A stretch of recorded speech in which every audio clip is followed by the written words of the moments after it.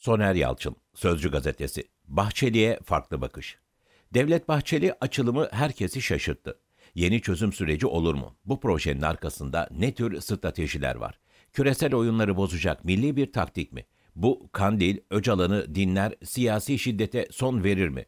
PYD, PKK, ABD, İsrail desteğini bırakır mı? Onlarca soru yazılabilir mi? Bahçeli açılımına öncelikle farklı açıdan bakma taraftarıyım.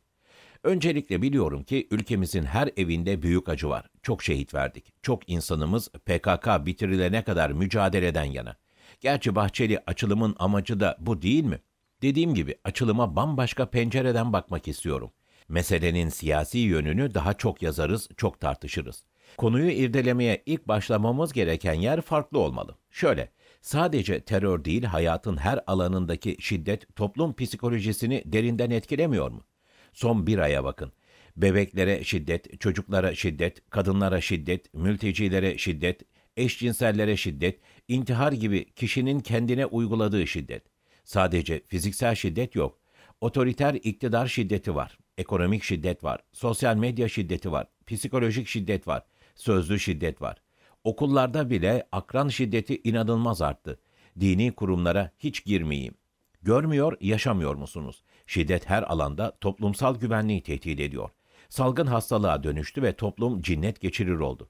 Ne yapacağız? Toplumsal mağduriyete nasıl son vereceğiz?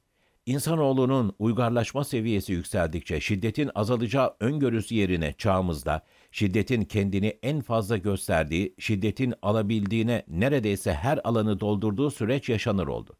Şiddetin nedenleri konusunda çok cümleler kurulabilir kuşkusuz.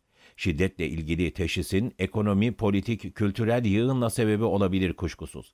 Peki toplumsal alanın her kesimine hızla yayılan bu büyük sosyal problemin tedavisi nasıl olacak? Şiddet kültürünü nasıl yok edeceğiz? Şiddeti yok etmek için şiddet kullanmak sorunu çözmüyor. Salt ceza maddelerini ağırlaştırarak, cezaevi sayısını arttırarak çözüm bulamayız. Yaşandı bunlar. Sarmaldır şiddet. Toplumsal alanlarda farklı biçimlerde karşımıza çıkan şiddet olgusunun türleri arasında keskin çizgiler çizilemez. Mesela terörle kadın şiddeti arasında özde fark var mı sanıyorsunuz? Öğrenilen bir davranış şiddet, korkunun çocuğu. Bu sebeple öğrenme alanlarını yok etmek için topyekün bütüncül mücadele şart. Yenileşme süreci istemek bunun ilk adımı. Toplumsal çürüme için en tehlikeli olan şiddetin normalleştirilmesi. Kanıksandı şiddet, meşrulaştırıldı. İnsana, topluma yabancılaştırıldık çünkü. Hayatın anlamı yok edildi. Ölüm sadece sayı, istatistik haline dönüştü ya da reyting getiren dehşetli medya malzemesine. Bu yıkımdan kurtulmalıyız. Umutsuzluk karabasan gibi toplumun üzerine çöküyor. Toparlarsam, salt terörü bitiren değil, topyekün şiddete son vererek toplumsal değişim yaratacak, yeni insanı doğuracak açılım süreci başlatılmalı. Bahçeli'nin politik tavrı bu açıdan önemlidir.